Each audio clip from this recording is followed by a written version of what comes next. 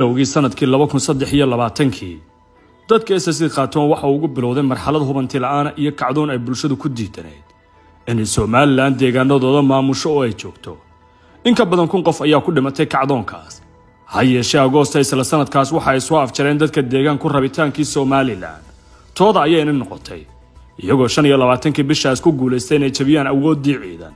Ee ay madaxtooyada somalilan si xooggan ugu faantay sanadkaas. Inaan cidno ka adkaan weligeed dhammaan dhinacyo siyaasadeed oo hoos dhigayay awooddiisa si khaatumo ayaa xilligaasi kadib waayuhu ku khasbeen inay la macaamilaan oo u soo jeestaan. Ayna dhegaystaan doodaha yaalla laascaano taasoo ay ugu horraysay dowladda federaaliga inkastoo ay weli meel dhexe jirto haddana muqdisho ayaa ku khasbanaatay soo dhoweynta ssc khaatumo jabuuti ayaa ka mid a dhinacyada wakhtigan muhiimka u aragtay inay soo dhowaysato dadka deegaanada ssc khaatumo iyadoo sababta ugu weyn lagu sifaynayo kala dhaqaaqa dhinaca hargeysa iyo geella dhex maray markii la isku qabsaday jadiinka jabuuti maxaa dhacay afar labaatankii saac ee la soo dhaafay kulamada jabuuti shalay hogaamiyaha ssc khaatumo cabdulqaadir aw cali ayaa laba kulan oo muhiima kula yeeshay jabuuti laba dhinac oo muhiim u ah xilligan doonista deegaankiisa. Mid ka mid a waa madaxweynaha dalka ismaaciil cumar geelle waa somalilan u taqaanay walaalka quudiyaha laakiin xilligan ay dhabarka isku jeediyeen.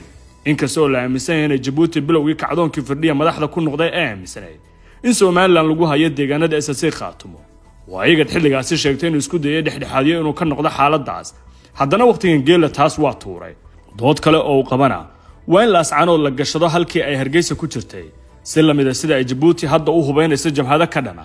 Dhinaca somalilan firniye isaga iyo maamulkiisa waxa uu ahaa kulankan mid ka mid a himilooyinka ugu weyn. Taasoo sahalaysay inay doodooda gaarsiiyaan dhinacyo hore ay isku cadowsadeen iyagoo biyaha hoostooda iska arkay. Taasna ssc khaatumo waxay u tahay baraaro wanaagsan in ugu yaraan iska maarayso dhibaatooyinka uga imaan lahaa dhinacyo aysan isgaari karin. Laakiin dad badan ayaa qaba in hore aan laga aamini karin madaxweyne geelle oo hadda duruufaha is afgaradkii abi iyo muuse biixi ku khasbeen. Inuu raadiyo dhinacyo uusan laftirkiisu jacayl badan u haynin. Geelle oo taageero adeegyo bulsho ballan qaaday. Saraakiil sare oo ka tirsan dhinaca jabuuti ayaa u sheegay geelan media in madaxweyne geelle madasha fadhiga ka sheegay inay garab joogsan doonaan ssc khaatumo oo ay kala shaqaynayeen dhinacyada adeegyada bulshada ee ay baahida u qabaan sidaasoo kalena geelle ayaa sheegay inaysan jirin dhib gaar oo ay ku hayaan deegaanadaas. Oo ay jabuuti xilligan u aragto in iskaashigoodu muhiim yahay iyadoo geella diiday inuu door weyn ku lahaa colaaddii hore u dhacday. Taas oo aysan madaxda ssc khaatumo wakhti badan gelin inay ka hadlaan intii fadhigu socday.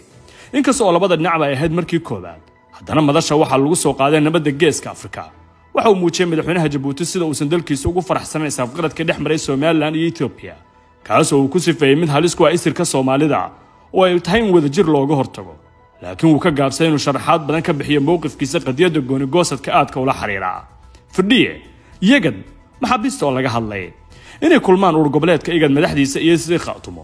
Waxay ahayd fursad kale oo muhiim u ah dhinaca laascaanooda ururkan waxaa ku midaysan dalalka bariga iyo geeska afrika ku yaalla waxaana inta badan looga doodaa qadiyadaha taagan ee gobolka.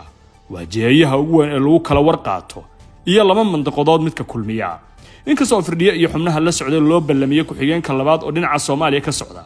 Haddana maxamed cabdi waare ayaa ka mid a xubnaha sida weyn uga soo horjeeda somalilan ee aaminsan aragtida soomaali midaysan.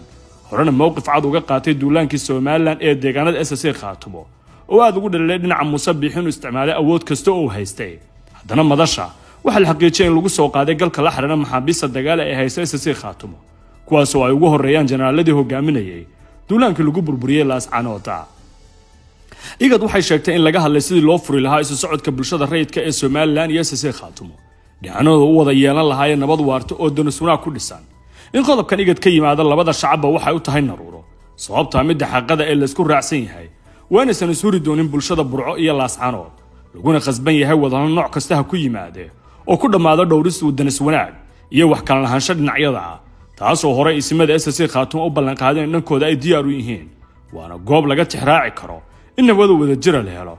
Qolo kastana dhankeeda ugu madax bannaan tahay doonisteeda qodob kale oo xasaasi ah waa galka maxaabiista oo ay sheegtay igad in la soo qaaday.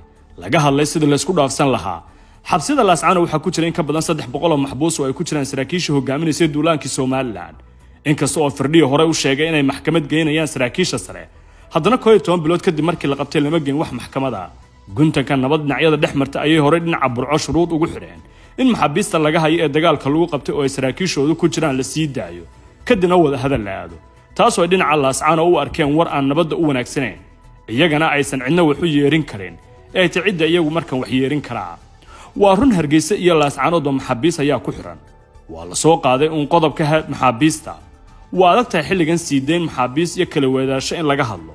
Wixii ka horreeyeyba lama samayn ee gogol xaar u noqon lahaa. Maamulkeenna kuma dhaco arrintaas iyadoo aysan dhinacyo is hor fadhiisan somalilan ka tanaasulin sheegashadeeda gefka ee deegaanka. Duulaandumiddana joojin.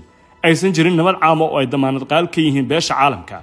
Dowladda federaalka iyo egadba ayuu xubin sare oo ka tirsan wafdiga firdhiya ee ku sugan jabuuti kuwaas oo aan weydiinay sida maxaabiista looga hadlay.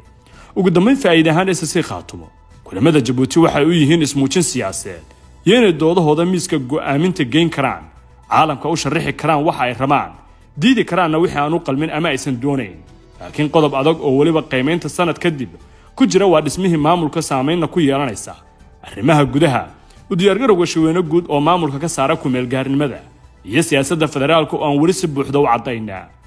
Faahfaahinno dheeraad ah ayaa ka soo baxaya dagaal dhaliye khasaare isugu jirta dhimasho iyo dhaawac kaasi oo ka dhacay deegaanka beriire oo ka tirsan gobolka shabeellada hoose una dhexeeyay ciidamada xoogga dalka iyo dagaalamayaal ka tirsan kooxda al-shabaab.